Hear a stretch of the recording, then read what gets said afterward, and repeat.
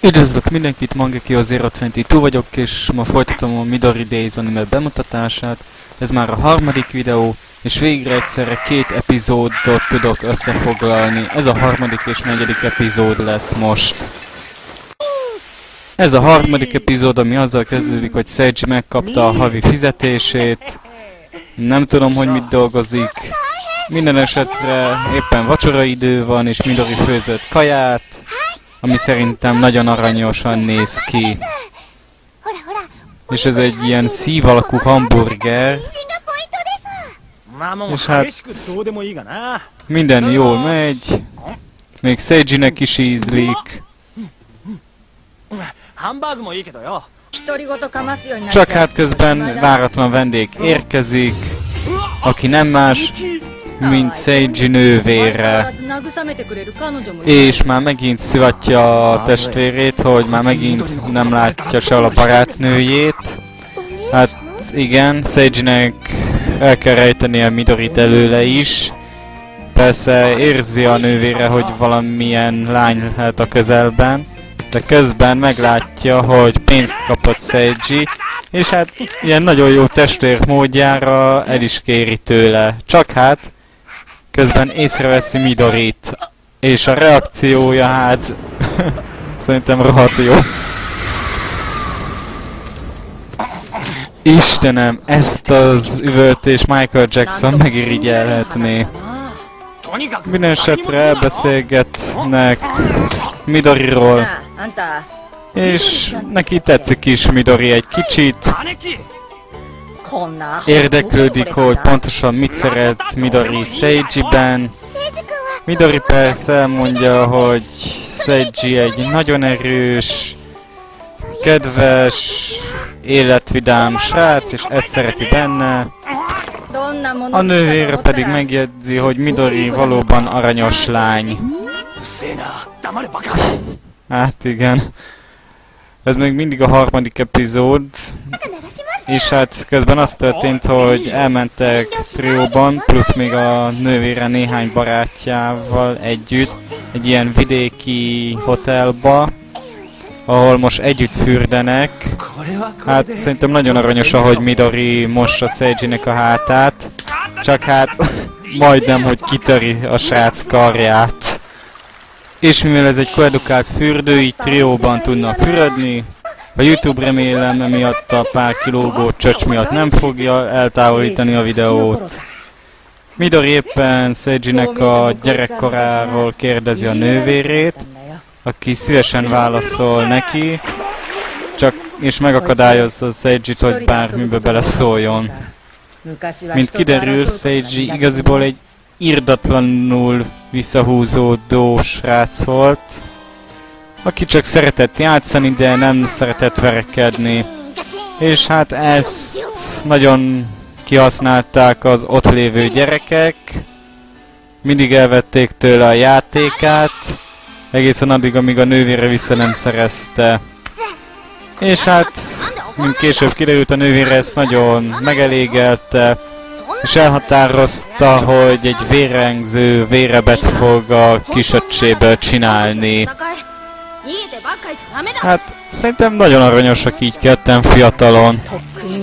És hát mondanom se kell, hogy egy olyan tréning alá vetette a kis testvérét, hogy ezt akár Coco, Tyson és még Rock a pankáttal sem nagyon élné túl. És hát mondanom se kell, hogy nem kímélte.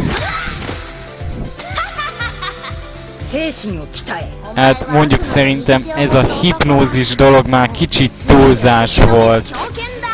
Még ha csak poénként rakták be. Csú az anyját! Nem szívesen lennék Seiji helyében. Nekem is van nővérem, de az nem ennyire brutális. Ja, és hát...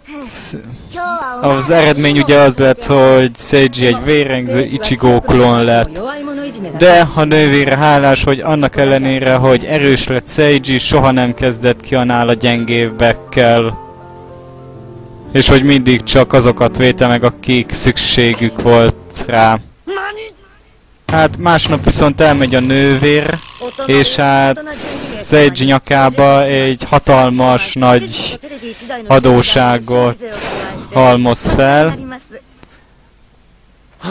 És hát igen. Ez már a negyedik epizód, ami egy nagyon aranyos jelentel kezdődik. Az, ahogy a parkban éppen fagyi tesznek. Midori megjegyzi, hogy most, hogy ilyen kicsike, a kedvenc fagyja extra nagy méretben van. Éppen mennének, amikor...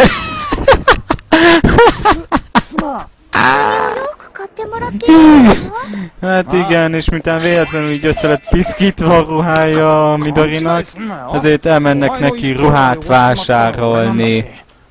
De álljunk meg egy pár pillanatra. Tehát, hogyha jól értem, most el akarnak menni ruhát vásárolni Midorinak. Itt nem lenne semmi bibi, de Midori kb. 15-20 cent is. Hol a fenébe akarnak neki ruhát venni? Aha, ez már mindent megmagyaráz. Hát, Midorinak ez maga a mennyország, viszont Seijinek ez a hely maga a pokol, mert nem nagyon szereti az ilyen gyűjtögetős babafigurákat, ezért mondja is Midorinak, hogy siessen, de... hát igen, Midori csak Midori. És hát Seiji szívinfarktust kap, amikor megtudja, hogy írtózatosan drágák itt a ruhák. De ezt igaziból Midori nem nagyon érdekli. Jól el van Midori. Hogy lehet egy anime figura ennyire aranyos?